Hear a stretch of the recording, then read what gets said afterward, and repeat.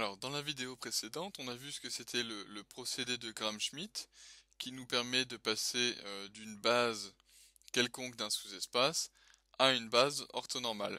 Et dans cette vidéo, ce qu'on va faire, c'est qu'on va euh, voir un exemple du procédé de Gram-Schmidt. Et du coup, on va prendre un sous-espace V de R3.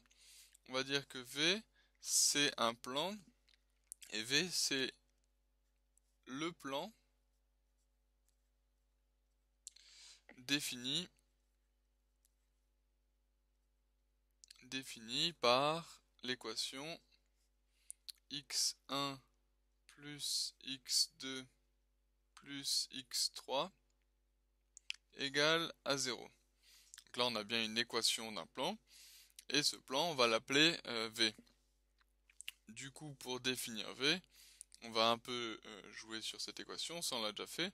On va dire qu'on a x1 qui est égal du coup à moins x2 moins x3.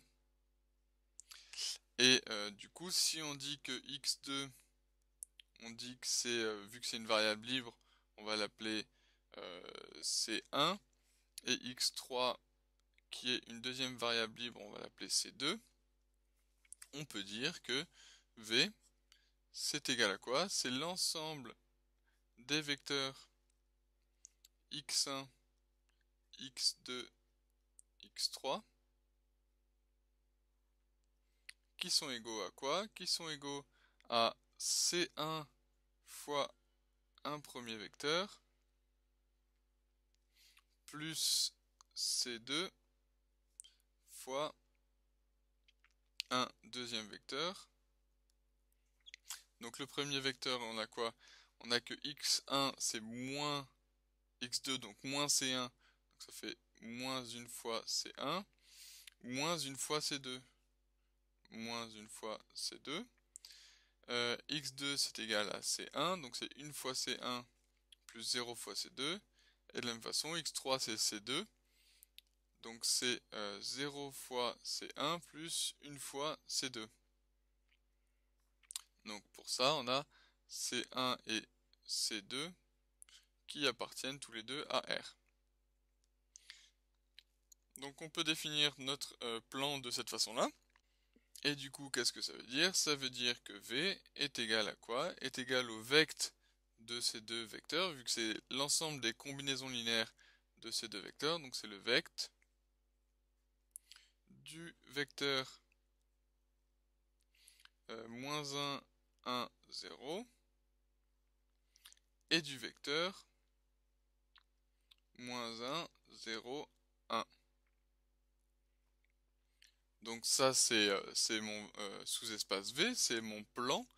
Et du coup on va dire que on va appeler ce vecteur là, on va l'appeler V1. Ce vecteur là, on va l'appeler V2. Et ensemble, ils forment bien une base de ils forment bien une base de V mais on ne sait pas si c'est a priori c'est pas une base ni euh, ni orthogonale, les, les, vecteurs sont pas orthogonaux entre eux et ils sont pas normalisés, donc on n'a pas une base orthonormale. Et ce qu'on va faire, c'est qu'on va utiliser le, le procédé de Gram-Schmidt pour obtenir une base orthonormale de V à partir de ces vecteurs V1 et V2. Donc si on commence, on va faire comme dans la vidéo précédente, on va considérer le sous-espace V1 qui est égal au vecte de V1. Euh, le vecteur V1, c'est pas un vecteur qui est normalisé. Pour obtenir un vecteur normalisé, il faut euh, prendre le vecteur V1 sur la longueur de V1. Et alors, pour ça, du coup, on va calculer la longueur de V1. La longueur de V1, c'est quoi? C'est égal à la racine carrée de donc V1 c'est euh, du coup moins 1 fois moins 1 du coup 1 plus 1 euh, fois 1 du coup plus 1 plus 0 fois 0 du coup plus 0 donc la longueur de V1 c'est racine de 2 et du coup on peut considérer le vecteur U1 on va dire que le vecteur U1 c'est le vecteur V1 sur la longueur de V1, donc 1 sur la longueur de V1, donc 1 sur racine de 2, fois le vecteur V1, du coup fois le vecteur moins 1, 1, 0.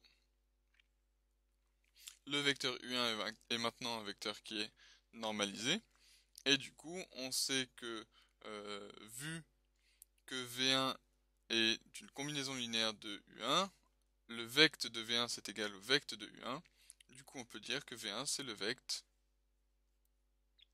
de mon vecteur U1. Et U1 est bien normalisé, du coup la base formée par le vecteur U1 est bien une base orthonormale de V1. Alors très bien, maintenant on a notre vecteur U1, donc on va dire que c'est un vecteur qui est comme ceci. Ça c'est le vecteur U1. Et on a V1 qui est la droite portée par U1. Du coup, mon sous-espace V1, c'est cette droite-là. Ça, c'est V1. Et j'ai mon vecteur euh, V2. Si je m'intéresse à mon plan, j'ai mon vecteur V2. Je sais qu'il n'est pas sur la droite euh, V1, puisque euh, V1 et V2 forment une base de V. Du coup, ils ne sont pas collinaires. Du coup, on peut V2, on peut le dessiner comme ceci. Je dessine euh, au hasard, hein. je fais pas attention aux, longueurs, etc. C'est juste pour avoir une idée de ce qui se passe. Du coup, ici, j'ai le vecteur V2. Et si je veux obtenir une, euh, base orthonormale de V, il faut que je remplace euh, V2 par un autre vecteur qui va être orthogonal à U1 du coup, ça va être un vecteur qui va être orthogonal à V1. Du coup, ça va être un vecteur qui va être euh, plus ou moins comme ceci. Ici, j'ai un vecteur qui est normal, qui est euh, orthogonal à V1. Du coup, si je considère euh, l'ensemble V2 qui est le vecte de V1 et V2, qu'est-ce que je peux dire? Peux dire que ça, c'est égal au vecte de U1 V2. C'est le vecte de U1 V2. Vu que euh, U1 s'obtient comme une combinaison linéaire de V1. Du coup, euh, ce qui est généré par V1 est aussi généré par U1. Et maintenant, je peux remplacer U2 par ce vecteur ici qui va être qu'on va appeler y2 qui va être lui orthogonal à V1 et en fait j'ai que euh, V2 c'est ce vecteur ici en jaune qui est en fait la projection de V2 sur V1 ça c'est la projection sur mon sous-espace V1 de mon vecteur V2 Et du coup, d'après ce qu'on a vu dans la dernière vidéo, on sait que V2, on peut aussi l'écrire comme le vecte de U1 et Y2. Et alors, ce Y2, il vaut quoi? Y2, il est égal, on a dit, on a dit que V2 c'est euh, la projection de V2 sur V1 plus Y2, donc Y2, ça va être V2 moins la projection de V2 sur V1. Donc ça, c'est égal à V2 moins la projection sur mon sous-espace V1 de mon vecteur V2.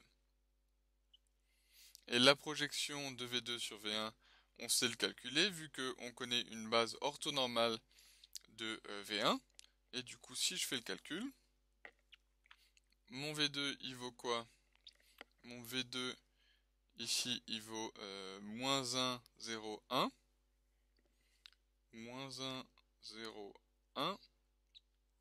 Et du coup on a moins la projection de V2 sur V1 qui vaut quoi? Qui vaut le produit scalaire de V2. Donc c'est moins 1, 0, 1. Donc c'est le produit scalaire de V2 par U1. Et U1, on a vu qu'il valait 1 sur racine de 2 fois le vecteur moins 1, 1, 0.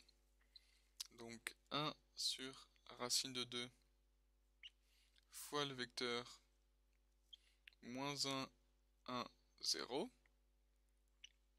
Donc ça c'est un scalaire, tout ceci c'est un scalaire, c'est un produit scalaire, fois le vecteur U, U1 qui vaut 1 sur racine de 2 fois moins 1, 1, 0. Donc ça c'est Y2. Alors maintenant on peut faire le calcul. Ça vaut quoi? Ça vaut... Ça vaut... Alors, V2, donc V2, moins 1, 0, 1.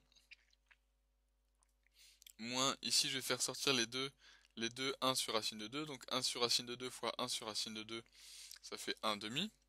Fois 1 demi. Et le produit scalaire, du coup il me reste euh, le produit scalaire du vecteur moins 1, 0, 1 par le vecteur moins 1, 1, 0. Donc ça, ça vaut quoi?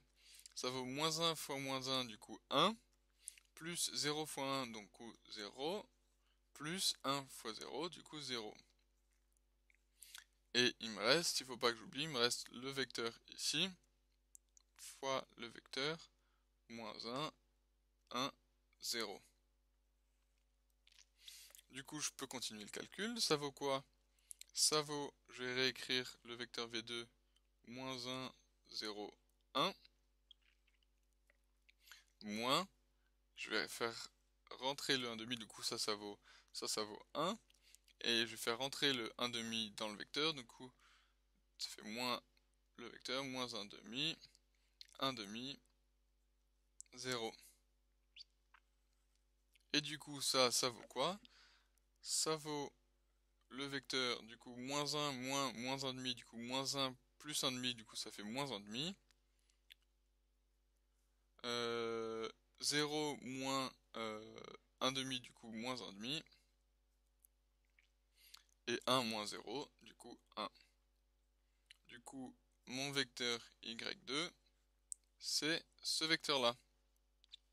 Maintenant, ça suffit pas tout à fait parce que ce vecteur y2, il est bien orthogonal à u1. Du coup, la base u1y2 est bien une base orthogonale, mais c'est pas une base orthonormale parce que y2, il n'a pas été normalisé. Du coup, on va prendre un autre vecteur.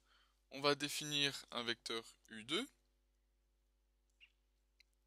qu'on va définir tout simplement comme 1 sur la longueur de y2 fois y2. Et c'est quoi la longueur de y2 La longueur de y2, c'est égal à la racine carrée de quoi? De euh, moins 1,5 fois moins 1,5, du coup ça fait 1 quart. 1 quart. Moins 1,5 fois moins 1,5, ça fait 1 quart. Et 1 fois 1, ça fait 1. Du coup ça fait 1 quart plus 1 quart plus 1.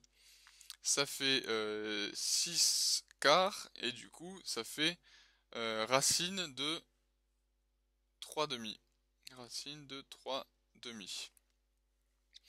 Et du coup, U2, on a dit que c'était 1 sur cette longueur fois Y2. Du coup, U2,